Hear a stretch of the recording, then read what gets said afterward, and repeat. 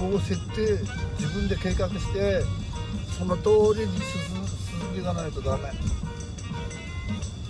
いや途中にいろんな困難はあるよ。それに目標立てたらばそれにそれにね対抗するいろんな障害が出てくるからそれに立ち向かっていかなきゃダメなんだよ。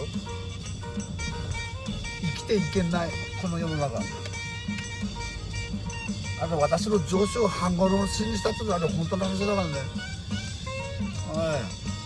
私の顔を叩いたからでそいつを見忘年会終わった後で半殺しにしてしたらね1ヶ月間休んでたわ。なんで休んでんのって聞いたら車の間にひび挟まってひび入ったんだって。もうそれ以来俺の顔はもう見ないのね。おっかなくて見れないんだよ。あの阪南フーズの本田リーダーっていうのそれ阪南フーズ北関東この丸カレーゾにいるから2階の事務所に。阪南フーズなんてのはろくでもね会社だよあれ。あの童話の会社童話って知ってる？あの童話ってあの童話利権ってあの昔の身分制度最低の会社。浅田光。浅田光ってほらあの反乱事件肉偽装してした人だよ。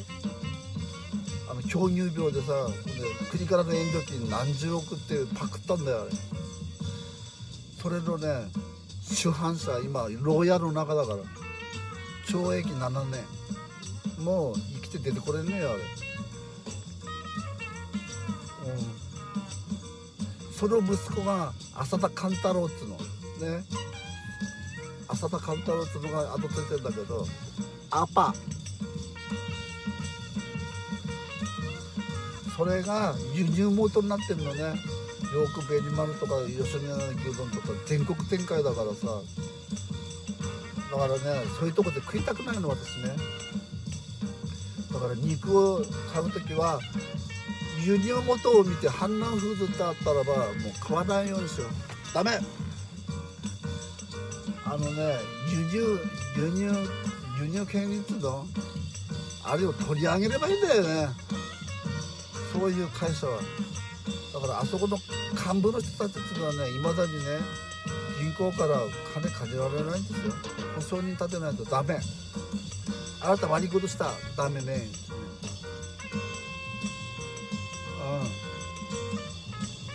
ん。あのソネリーダーなんてね頭は切れるけどやってることはアパだからね。阪南フーズ東北のソネリーダーとかいるよ。ホンダホンダリーダーもそうだしさ。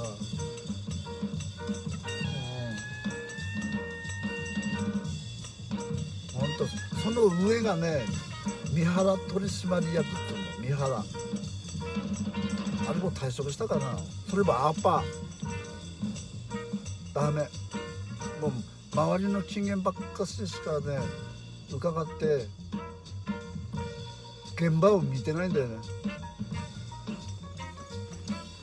だみんな重量オーバーしてんだよあれそれみんなで嘘ついてんの、うん、今日三原さん来るぞ。みんな気をつけろってさ号令かけてさ。全然裏の子裏の顔を見れないのあのあの人。人の心が読めない。俺あの人をね助けたんですよ。2回か3回助けてんの俺。三原取締役をさ。それをあの人後で返したよ俺ね。いや温かなんだかわかんないけどさ。ダメ。だからああいう私上司にね恵まれなかったなあの阪南フーズでは。その前の上司は良かったんだよね。その前の上司はね在庫管理が悪くてその浅田さんに「お前責任取れ」っつってねそれで首でもねえやどっかに回されたんだな。でその代わりに三原さんがなったんだけど在庫在庫在庫ばっかし、うん、自分がせ生活かかってっからねあの人もね在庫ばっかしうるせえよ。だからみんな嘘の在庫書く全部みんな嘘の在庫。うん。それで宮野さんが取り出したらその在庫隠すんだよ。そしたらアップルしてる。それを見抜けないんだよ。あのあのバカ上司は。今でもですよ。あのマルカ冷蔵庫そういうのをバカ上司っつう。どこにもないよあれ。反乱フーズって。あのさインターネットで見てごらんぺ反乱フーズ綺麗事しか書いてないから。私たちの肉は健全で健康的な肉を扱っています違うよ。ホルモン漬けだよあれ。とんでもない肉ばっかしだよ。うん大一五七の事件ね問題を起こしたりみんな死んでんだからそれで。バッタバタバタバタさ。というわけでね判断の肉は変わらないようにしよう、うん、あのいきなりスケステーキは分かんねえな。あれ今度聞いてみようかなと思ってさいきなりステーキあなたはどこの肉を入れてますかってね。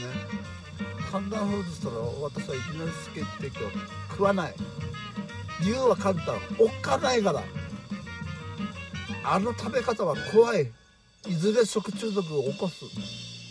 だって中な生だもんそんな肉食いたくねえよ。400g とかさあるでしょ？長いこれ切ると生だよあれ。